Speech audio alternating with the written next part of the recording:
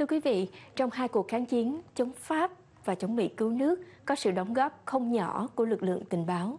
Thiếu tướng Đặng Trần Đức, hay còn gọi là ông Ba Quốc, được xem là một trong những vị tướng tình báo bí ẩn nhất.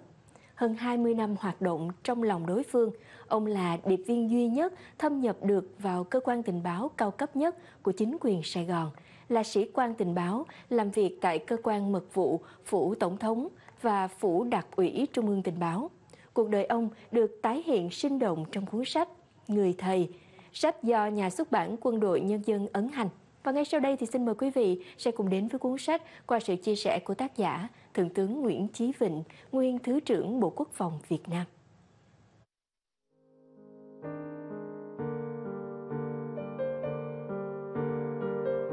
Cuốn sách Người Thầy được bắt đầu đơn giản chỉ vì một cái tâm huyết của tôi như là một tấm lòng đối với người thầy của tôi, người thủ trưởng của tôi là ông Bao Quốc, tức là thiếu tướng anh hùng lực lượng vũ trang Đặng Trần Đức. Một cái lời tri ân của tôi đối với uh, chú Bao Quốc.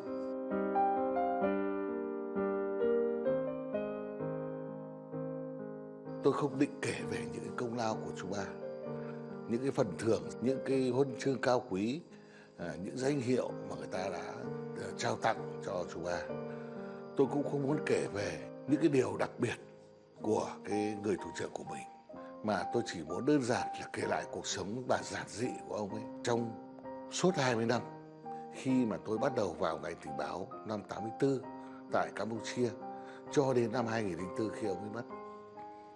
Trong suốt thời gian ấy có thể nói là tôi luôn luôn đứng cạnh ông ở dưới ông ấy.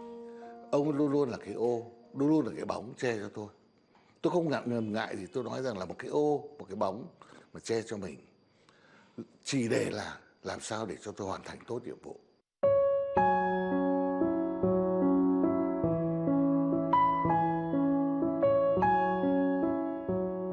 Và một cái điều mà tôi không ngờ đến, không biết đến, đó là chỉ để là bồi dưỡng một người có thể thay ông ấy trong cái công tác sau này.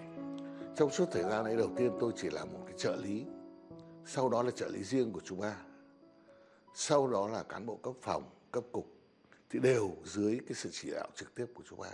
Tôi thấy ông ấy ngoài một cái người anh hùng, còn là một con người con người viết hoa. Vì nhân cách của chú ba, vì những cái hành động, cái hành xử của chú ba đối với ta, đối với địch.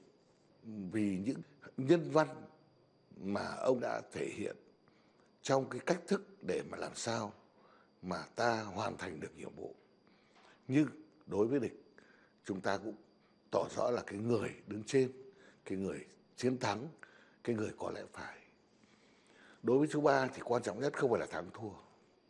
Hôm nay thắng mai thua, mà hôm nay thất bại mai lại thắng lại. Ăn thua là anh có giữ được cái chính nghĩa, giữ được cái lẽ phải, thì anh sẽ, trận cuối cùng anh sẽ thắng. Đấy là chú ba luôn luôn dạy tôi như vậy.